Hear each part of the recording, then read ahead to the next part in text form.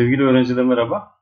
Arkadaşlar bugün e, 11. sınıf tarih dersimizin ikinci ünitesinde değişim çağında Avrupa ve Osmanlı adlı konumuzun e, Osmanlı Devleti ile ilgili olan e, Osmanlı Devleti'nde çözülmeye karşı önlemler. Yani ne demek? Osmanlı Devleti'nde biliyorsunuz merkez otoritenin bozulması, Osmanlı Devleti'nde ekonominin bozulması, eğitimin bozulması, ordunun bozulması ki Osmanlı Devleti'nin bu e, çözülmeye karşı aldığı önlemler ve bu yüzyılda çıkan arkadaşlar isyanlar var. Şimdi Osmanlı Devleti'nde 17. yüzyıldan 18. yüzyılda iç isyanlar yaşanır. Şimdi Osmanlı Devleti 17 ve 18. yüzyıllarda iç isyanlarla uğraşmış. Peki bu isyanların e, çıkış şeylerine baktığımızda birinci olarak merkez otoritenin bozulmasını görürüz.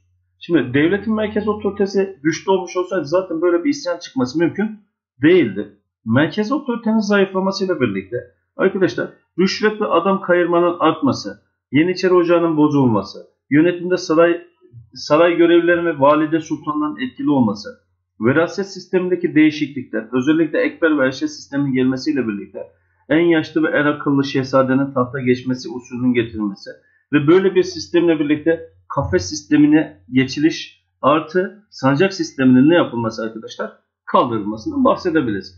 Osmanlı Devleti'nde merkezi otoritenin bozulması aslında isyanların çıkmasının neyidir? E, temel nedenidir. Peki bu isyanlar merkezi otoritenin bozulması dedik.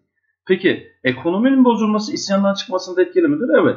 Savaşların uzun sürmesi, masrafların artması etkili midir? Evet. Ordunun bozulması etkili midir? Tımar sisteminin bozulması, tarımsal üretimin bozulması ve halktan alınan ağır vergiler. Arkadaşlar halkın devleti isyan etmesine ne hazırlamıştır? Ortam hazırlamıştır diyoruz. E peki Osmanlı Devleti'nde 17. yüzyılda bakın e, Celali isyanlar dediğimiz bir isyan var. Celali isyanları aslında ilk defa Yavuz döneminde ortaya çıkmıştı. Yavuz Sultan Selim zamanında. E, Yozgat ve Tokat çevresinde Bozoklu Celal isimli bir tımarlı sipahi'nin devlete isyan etmesine sonra arkadaşlar e, Anadolu'da çıkan bütün isyanlara ne ismi verilmişti? Celali isyanları adı verilmişti. Peki bu Celali isyanları daha çok bizim Anadolu'daki Türkmen halkın çıkartmış olduğu isyanlardı. Peki isyanların ana sebebi ekonominin bozulmasıdır. Niye ekonomi bozuldu gençler? Ee, ekonominin bozulmasının en büyük nedeni biliyorsunuz e, tımar sistemi e, bozulması. Tımar sisteminin bozulmasının temel sebebi de savaşlar uzun sürmeye başladı. Savaşlar uzun sürünce arkadaşlar topraklar boş kalmaya başladı. Biliyorsunuz tımar sisteminde devlet vatandaşa toprak veriyor. Vatandaş ekiyor, biçiyor. Karşılığında askeri yetiştiriyor. E peki e, bu dönemde savaşların uzun sürmesiyle birlikte Anadolu'daki Türkmen köylü nereye gidiyor? Cepheye savaşmaya gidiyor. E savaş uzun sürünce arkadaşlar ne oluyor? E, toprak boş kalıyor. Toprak boş kalınca üretim duruyor. Üretim durunca ekonomi bozuluyor ve ekonomi bozulunca da halkın devlete isyanla ortam hazırlıyoruz. Peki Osmanlı Avusturya savaşları ve Osmanlı İran savaşları bu da bu yüzyılda arkadaşlar savaşlar uzun sürdüğü için topraklar ne kalmış? Boş kalmış. Peki bu isyanlara baktığımızda tımar sisteminin bozulmasıyla birlikte yani çıkan bu celali isyanlarına baktığımızda bu isyanların en önemlileri arkadaşlar e, Kara Yazıcı isyanı, Deli Hasan isyanı, Tavil Ahmet isyanı, Can Polatoğlu isyanı, Kalenderoğlu isyanı, Hatırcıoğlu isyanı ve Gürcü Nebi isyanlarını ne yapabiliriz? Celali isyanlarına örnek gösterebiliriz. Peki şimdi burada Celali ayaklanmaları ile ilgili bir tane sorumuz var. Bir e, üniversite sınav sorusu. Osmanlı İmparatorluğu'nda sorumuz şöyle. Osmanlı İmparatorluğu'nda Celali ayaklanmaların bastırılması için asi şeflerin yani bu isyancı şeflerin bazıları öldürülmüş, bazılarına da yüksek rütbeler verilerek onların devlete bağlılıkları sağlanmaya çalışılmıştır. Bakın devlet isyanı bastırmak için ya şiddet uygulamış isyancıları öldürmüş ya da ne yapmış devlet? E, isyan eden bu asi liderlerini e, önemli mevkilere getirerek onların isyan etmelerini yapılmış, engellemiş. O zaman soruyorum siz böylesi bir ortamda bunları yapıyorsanız durumlardan hangilerine ortam hazırladığı savunulabilir. Şimdi sen isyancıları ya şiddet kullanırsan, şiddet kullanıyorsan demek ki sorunun kökenine ne yapmıyorsun? İnmiyorsun. E bu insanlar isyan ediyorsa devlet önce şunu araştırması lazım. Halk isyan ediyorsa devlete o güne kadar 17. yüzyıla kadar isyan etmemiş halk 17. yüzyılda devlete isyan etmeye başlamışsa ki Anadolu'daki Türkmen halktan bahsediyorum. Devletine asla isyan etmeyen bir milletten bahsediyorum. Devletini baba gören, vatanını ana gören bir milletten bahsediyorum. E, bu dönemde 17. yüzyılda isyan ediyorsa demek ki bir mesele var. Devletin bir sorunu var. Ama devlet ne yapıyor? Devlet sorunu çözmek yerine isyancıları ne yapıyor? Şiddetle öldürüyor. Mesela Kuyucu Murat'a arkadaşlar örnek gösterebilirim.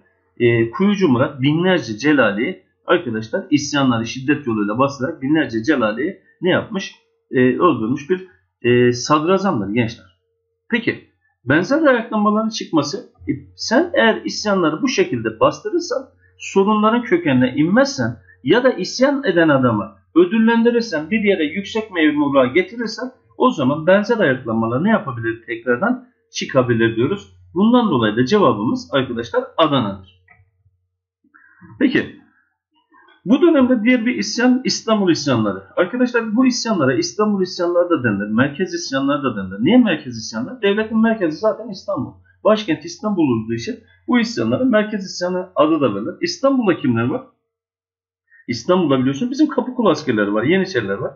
Yeniçeri isyanları da diyebiliriz biz bunlara. Daha çok bu isyanlar İstanbul isyanları ya da Yeniçeri isyanları olarak karşımıza geliyor. Peki Yeniçeriler niye isyan ediyorlar? Arkadaşlar Yeniçerilerin devlet isyan etmesinin temel sebeplerinden bir tanesi şudur. Özellikle tımar sistemi Anadolu'da bozulunca o Anadolu'daki köylü toprağını boş bıraktı. Dedi ki ya kardeşim ben zaten ekiyorum, biçiyorum, tarlada çalışıyorum, savaş zamanı savaşa gidiyorum, devlete vergi veriyorum bir de üstelik. Ama bu İstanbul'daki Yeniçeriler ne yapıyorlar? İstanbul'daki Yeniçeriler 3 ayda bir maaşlarını alıyorlar. İşte savaş zamanı savaşa gidiyorlar. Geri kalanlarında İstanbul'da oturuyorlar. E biz dediler devlete niye bunu yapalım? Biz de gidelim dediler. Topraklarını boş bıraktılar. Yeniçeri Ocağı'na kaydolmaya başladılar. Eskide biliyorsunuz gençler Yeniçeri Ocağı'na asker alımı yapılırken kanuni kadim dediğimiz belli kurallar vardı.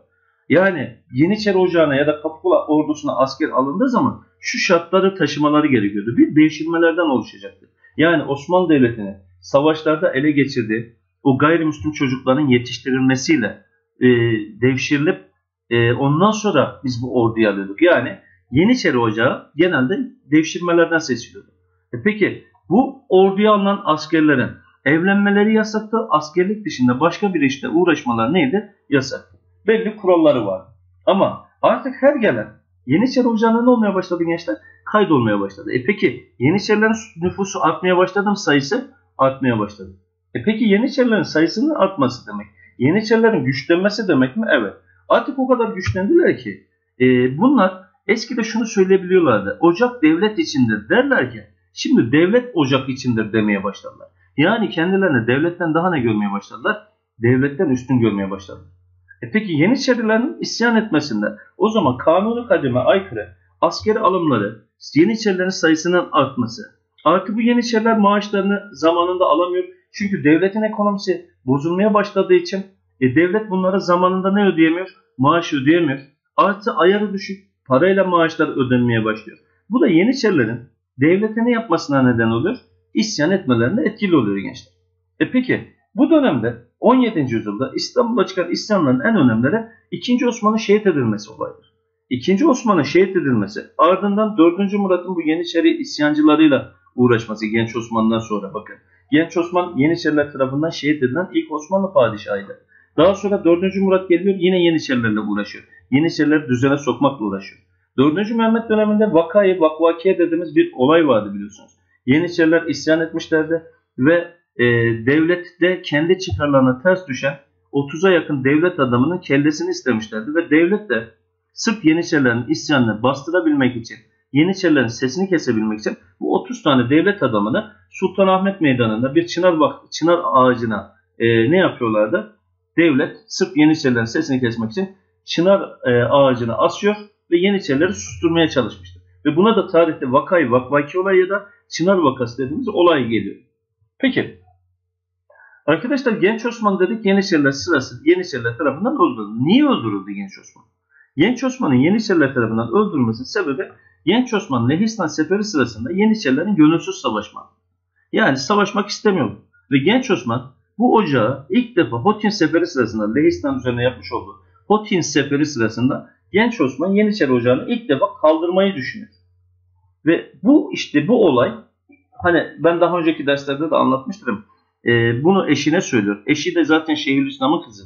Şeyhülislam da gidip saray ağalarına söylüyor. Saraydaki ağalar da bunu Yeniçerilere söylüyor ve Genç Osman'a sonu arkadaşlar geliyor. Genç Osman'ı e, şehit ettikten sonraki süreç çok önemli.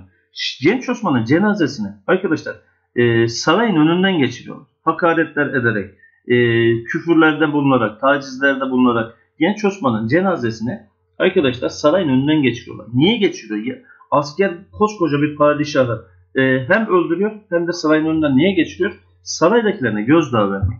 Niye saraydakilerine gözdağı vermeyi düşünüyor? Bundan sonra bizi kim kaldırmayı düşünürse sonu böyle olur demeye çalıştılar. Ve genç Osman arkadaşlar Yeniçeriler tarafından ne yapılmış oldu? Ee, arkadaşlar şehit edilmiş oldu.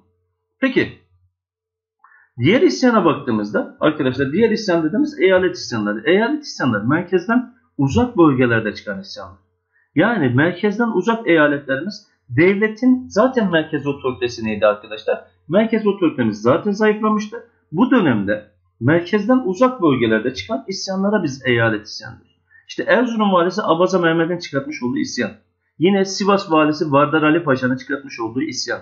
Efrak'ta, Boğdan'da, Erdal'de, Mısır, Yemen gibi eyaletlerimizde çıkan isyanlar arkadaşlar e, eyalet isyanlarına örnek gösterilebilir. Peki bu eyalet isyanlarının çıkmasındaki temel sebep ne? Devletin merkezden uzak bölgelere otoritesini ne yapamaması, götürememesi ya da oraya gönderdiğimiz yöneticilerin halka ne uygulamaları gençler? E, baskı uygulamalar diyoruz. Peki arkadaşlar isyanlar bastırılırken e, isyanların sebeplerine ne yapılmamış? İnilmemiş. Geçici çözümler getirilmiş. Ben bunu şuna benzetiyorum. Yani e, kanserli bir e, vücut düşünün. İşte kanserli bir hücre, kanser hücresi vücuda girdiği zaman ne yapıyoruz? İşte e, organları, işte karaciğer alınıyor. İşte böbrekte varsa böbrek alınıyor. Kola sıçramışsa kolu kesiliyor. Ama e, kanserli hücrenin kökenine ne yapılamıyor? İnilemiyor. Ben bunu buna benzetiyorum. 17. yüzyıl ıslahatları e, şu anki işte kanserli bir hücreye benzetiyor. E, bizim devlet adamlarımız ne yapıyor? İşte merkezi otorite bozuldu, otoriteyi düzeltmeye çalışıyorlar. Ordu bozuldu, orduyu düzeltmeye çalışıyorlar. Sorunların kökenine ne yapmıyorlar?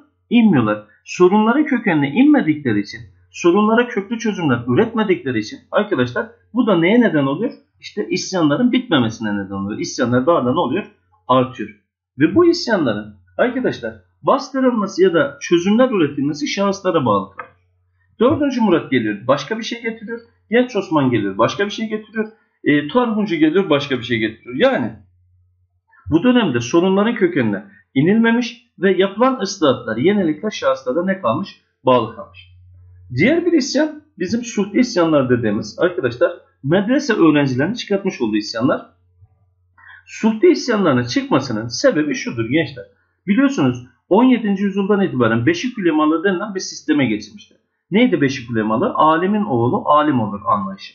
E, sen bu sistemi getirirsen medreselerde Beşik ulemalı sistemiyle birlikte alimin oğlu alim olur anlayışı gelmeye başlayınca özellikle medreseyi bitiren öğrenciler işsiz kalmaya başladılar. Çünkü babası öğretmen değil herkesin. Ya da babası alim değil. E peki babası alim olmayanlar ne kalmaya başladı? İşsiz kalmaya başladı. Öyle olunca arkadaşlar işsiz kalan medrese öğrencilerine Anadolu'daki o topraklarını boş bırakan e, köylüler de ne vermeye başladı? Tımarlı sipahiler de ne vermeye başladı? Destek vermeye başladı. E peki medreseler genelde şehirlerde olmaz mı? E, daha çok imarethanelerin e, çok olduğu arkadaşlar şehir merkezlerinde olan kuruluşlardır. E, o zaman bu isyanların çıkması özellikle o şehir merkezlerinde toplumsal sorunların çıkması bölgede güvenliği de ne yapmıştır arkadaşlar? Zafiyete uğratmıştır diyoruz. Peki bu dönemde gençler suhte isyanları dediğimiz bu isyanlar ta kanuni döneminde başlamış. Kanuni'den sonraki süreçte de ne yapmış? Artarak devam etmiş.